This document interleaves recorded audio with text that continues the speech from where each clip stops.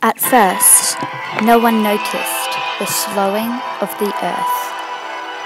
No one noticed the increase in time of day and night. As Californians, we were well accustomed to the motions of the earth, but nothing could have prepared us for the events that were about to unfold. First came the birds, falling dead from the sky, then the fish being washed up on the shore.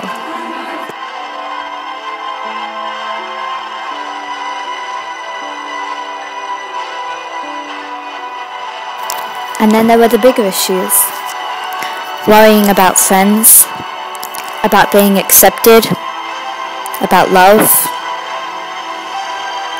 trying to conceal my father's lies that I knew could never be revealed.